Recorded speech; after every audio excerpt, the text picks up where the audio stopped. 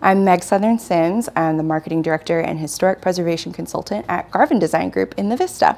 My name is Xavier Blake, and I'm the Executive Director for One Columbia for Arts and Culture. Richard Cohn Sr., Chairman of the Board of Cohn Corporation and a Principal in Cohn Development Group. I'm Pamela Bynoe-Reed. I'm the Director of Marketing and Community Affairs for the Comet, and I'm an ambassador for the City of Columbia. And this is Ming Ming. My name is Regan Freeman. I am the Development and Advocacy Director for the Cola Town Bike Collective. I'm Martha Wortham Fowler, and um, I am retired from public television. I did television most of my career, and then when uh, I found the opportunity to do some historic preservation, here we are.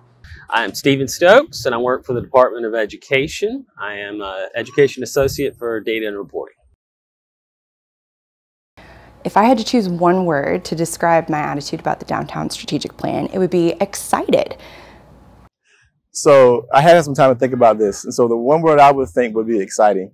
Um, and for a couple of reasons, because it means our city's growing, of course, but also for the process of how it's going to take place. I think we're going to involve a lot of stakeholders and get a lot of uh, input. And so the idea that it could be a collaborative effort to kind of improve our built environment downtown Columbia is fantastic. So exciting. Excitement. One word I would pick to talk about the downtown strategic plan would be ecstatic. It's a long time coming. And, you know, the city is growing and more people are wanting to live and, and move to downtown. And, you know, the plan is really on time.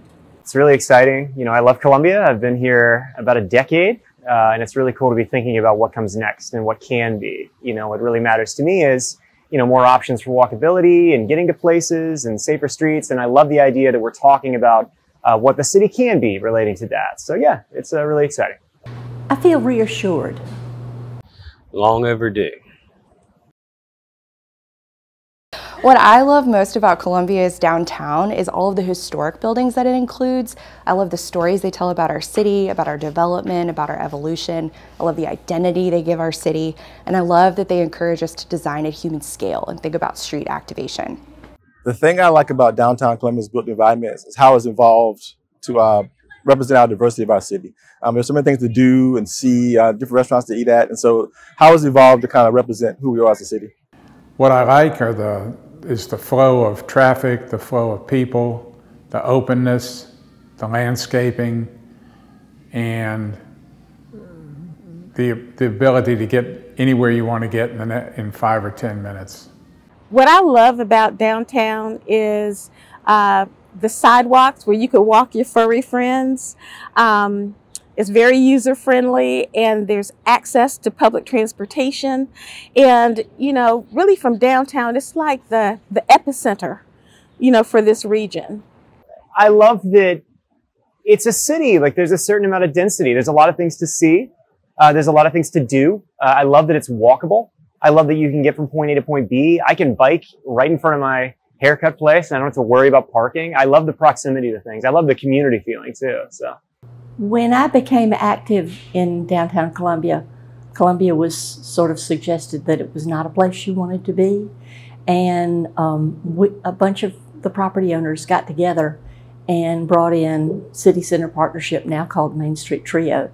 And they have worked in conjunction with the City of Columbia and changed the entire atmosphere of Main Street um, where it was a no man's land after five o'clock. It is vibrant and active and happy and all the things we we never even thought we could get to. I like the proximity, the how walkable Main Street is. Um, I do wish there was more connectivity, particularly for bikes. Um, but uh, you know, and it's particularly to neighborhoods. Connecting the entertainment districts would be better. Um, but the walkability of shops and restaurants in Main Street is my favorite part.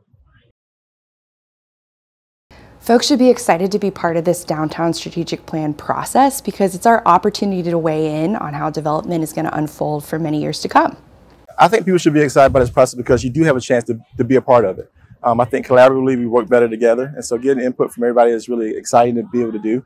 And so to be able to have your input into what Columbia could be going forward is really exciting. So I think people should really look forward to, to being a part of this process.